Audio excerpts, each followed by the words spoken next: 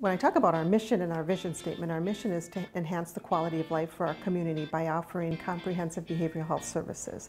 And we as an organization work really hard with our community partners because it's our mission to make a, a better place to live both for our staff, our consumers, and most importantly, everyone that resides in Gogebic County. Well, when I started, I actually worked a midnight shift. Started as a, a regular RTS, worked my way from midnight shift to day shift, became a group home manager, tried to do the same things that I uh, wished our supervisors did when I was working. And it's just, it's been, it's been a career that I've been happy that I, I got into.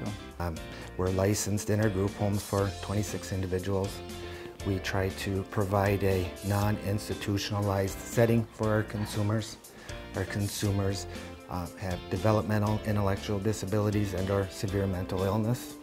Our direct care staff um, assist our consumers with daily living skills cooking, cleaning, medication administration, community integration, and, and, and the like. Home-based clinician gives you the unique opportunity to work with families in their, in their environment. You really learn about their culture, about what makes things go for them. You're able to learn more than you would in an office-based setting. We offer a defined benefit package we offer short-term disability, long-term disability. We offer life insurance. We offer an outstanding um, paid time off package with employment. And it's very um, a family-oriented type of organization. They want you to go to your children's games. They want you to be involved. Um, if you need to go and attend a track meet for your daughter, very supportive in working around that schedule in order to accommodate you to be able to do that. So the first week is really dedicated to the classroom type training. Um, and the additional training would be CPR certification, first aid.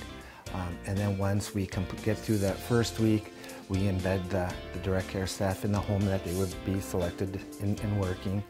And typically, um, they would receive additional training for approximately two to three weeks, and that's what we would call shadowing, you know, where you're going to be with veteran staff, learn the ropes, and typically after a total of probably four weeks, including that initial week, they're, they're ready to, to go on their own. One of the things that brought me here was wanting to have the ability to advance in my career.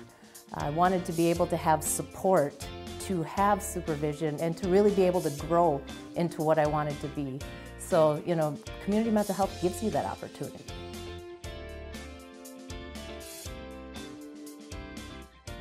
I consider myself on vacation 365 days a year because I can basically go out and do anything after work, weekends, anything else. I don't have to worry about traveling. You have to be a compassionate individual. You know, it's, it's not an easy job working in a, in a group home setting. You have a lot of um, individuals with behavior issues. Not, not an easy situation. Um, working with those individuals, you have to have compassion, you have to be caring, you have to be able to sit back and just blow it off when it gets tough.